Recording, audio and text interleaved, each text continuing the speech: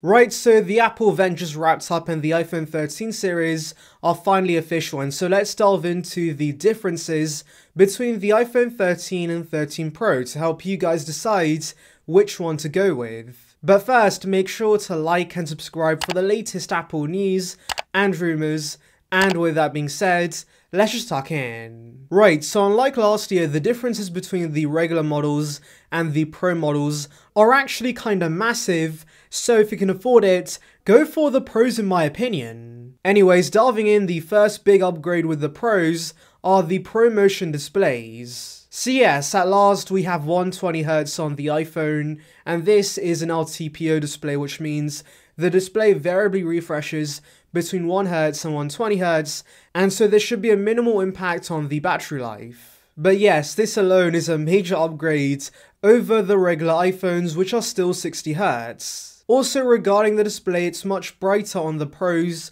and that actually makes a huge difference outdoors. The next major improvement are the cameras on the 13 Pro series because the sensors are much larger and so overall you're getting a much better camera experience on the Pro models. By the way, regarding the cameras, another major feature for the Pros is ProRes support. So this is Apple's video format.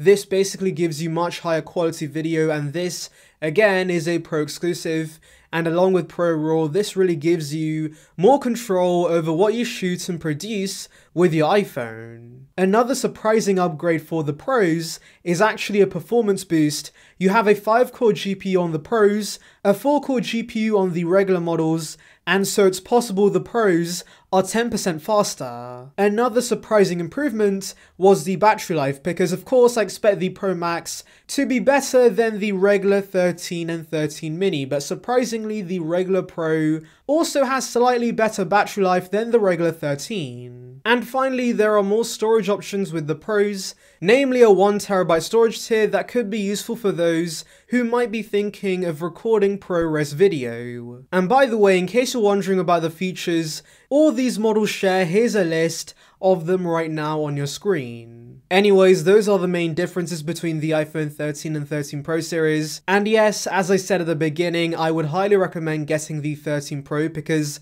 you do actually get a lot of upgrades with the Pro models to justify the premium. Anyways, tell me in the comments below which iPhone 13 model are you gonna get? Anyways, thank you for watching guys, make sure to like and subscribe for the latest Apple news and rumours. Check out the video in the icon above on details regarding AirPods Pro 2. And on that note, I'll see you guys in the next one. See ya, peeps.